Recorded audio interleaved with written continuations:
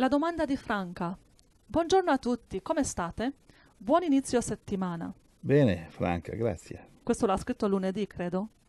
Caro fratello Giuseppe, avrei una domanda da farti. Dopo aver superato il tempo della fine, inizierà il millennio. Pensi che Roma, meglio detto impero romano, che oggi se non sbaglio è il sesto e quindi sarà distrutto dall'anticristo, il sesto impero, sarà distrutto dall'anticristo, pensi che il settimo impero sorgerà all'insegna del cristianesimo, ovvero rinascerà da lì, da Roma, e sarà una cellula importante della cristianità? Grazie. Pur sapendo che Gerusalemme è e sarà il centro del mondo dove tutte le nazioni andranno ad adorare Gesù Cristo. Un abbraccio a tutti voi in Cristo Gesù e un santo bacio. Dio vi benedica immensamente.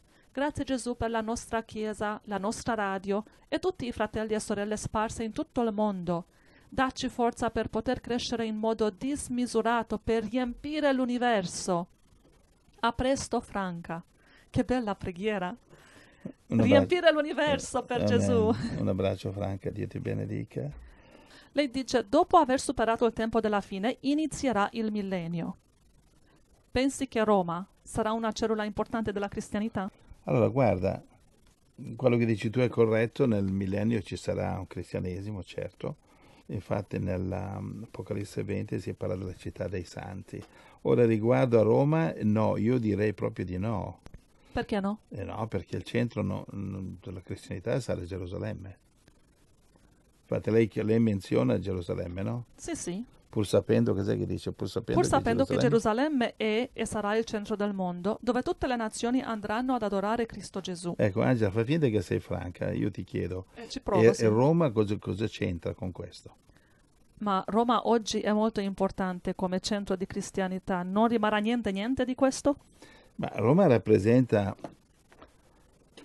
Roma rappresenta la, il centro della cristianità adesso, cristianità, cristianità cattolica. Sì. Però rappresenta anche la fine dell'impero romano, perché mm,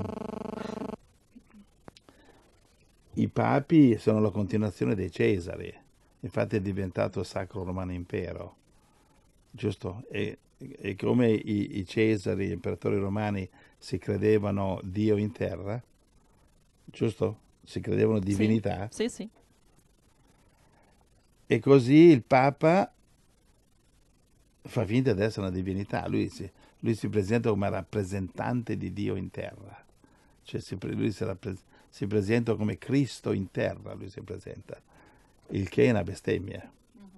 E però, lui- però spiritualmente il diavolo ha fatto così le cose, perché così come imperatori romani erano divinità, quindi il Papa che è la continuazione dell'impero romano, quindi la Chiesa cattolica romana, non cristiana, romana, allora il Papa anche lui, gli imperatori romani erano divinità e il Papa anche una divinità perché rappresenta di- eh, Gesù Cristo in terra.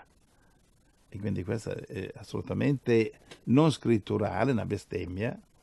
Va bene, e allora cosa succederà?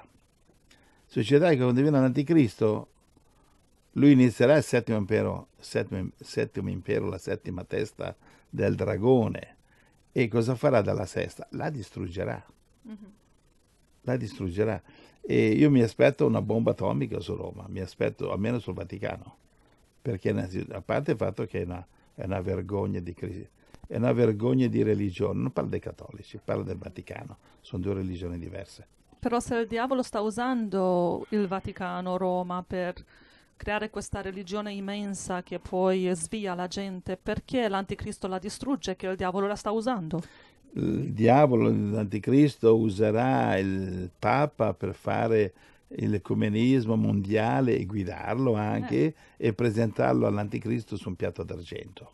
E allora perché la Pe- distrugge? ok, però io credo che l'anticristo distruggerà lo stesso Roma perché Roma c'ha troppa autorità. Che basta che mettessero, mettono un altro Papa quando questo qua muore e l'altro Papa magari, chissà, eh, eh, chissà che sia un cattolico normale invece di essere un pacciamamo. E magari. Capito? E allora l'anticristo non vorrà correre rischi e distruggerà il Vaticano di sicuro. Non so se distruggerà anche Roma con un'atomica, il che è possibile anche, e perché l'America cercherà di- di- di difenderla. Quando i bolscevichi presero potere in Russia, si assicurarono, assicurarono di uccidere ogni membro della casa, del casato dello zar Nicola. Nicola II, credo, e furono tutti uccisi e massacrati perché i bolscevichi eh, volevano assicurarsi che un discendente dello zar non si presentasse poi a dire io sono lo zar. E loro uccisero tutti i bambini. E fu una strage tipica dei, dei, dei, dei marxisti. I marxisti sono sempre così.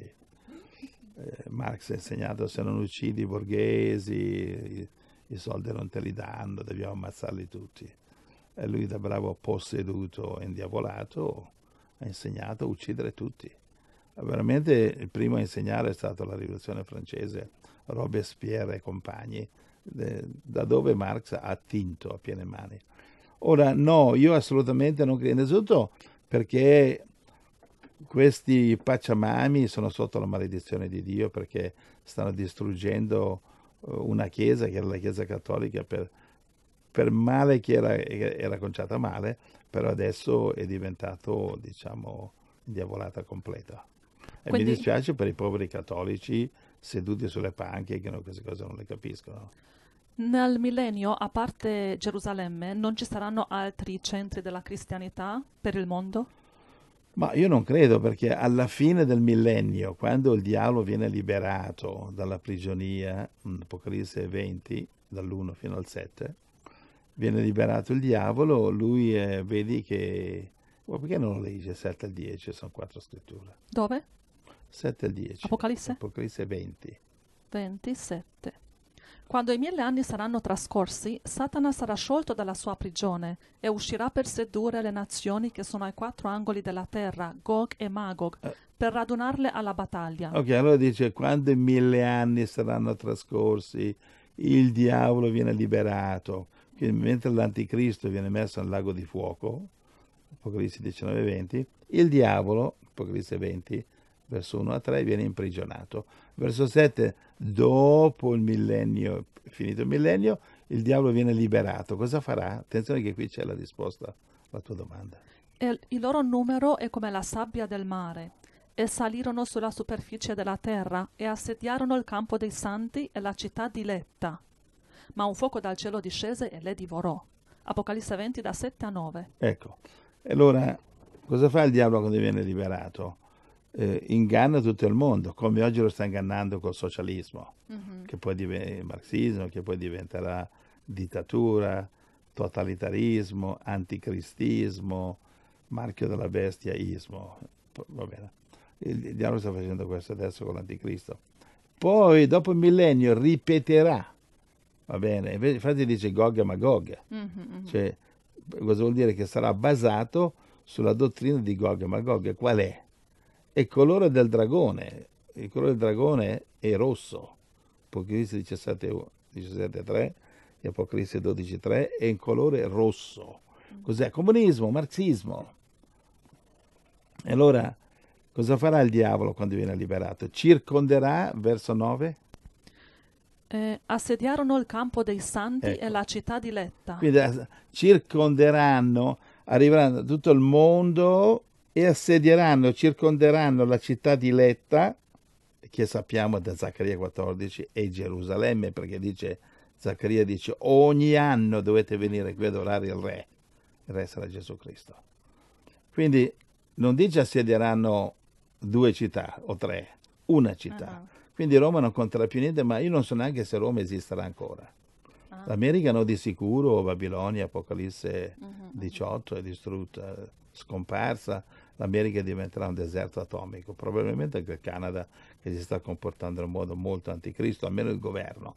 Ma tranquilli, quando questo succederà nel, durante l'ira di Dio, i cristiani non saranno più lì, va bene? Saranno già stati rapiti e se hanno ascoltato Radio Blast avranno già traslocato. Amen, sì. Sì, quindi non ci saranno due, tre, quattro cellule della cristianità per il mondo, però il centro sarà Gerusalemme, come dice Zaccaria 14. Sì, è come eh, anche dice Apocalisse 20, verso 10, dice assedieranno, circonderanno attaccheranno Mhm. la, la la città, come dice, il campo dei santi. Il campo dei santi, cioè i cristiani, Ecco, che i saranno santi? lì, nella città di Letta. I santi sono i cristiani. Mhm, mhm. Sì, sì, va Ecco. bene. Ecco.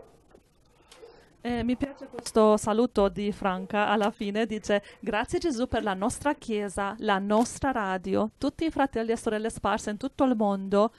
Dacci forza per poter crescere in modo dismisurato, per riempire l'universo.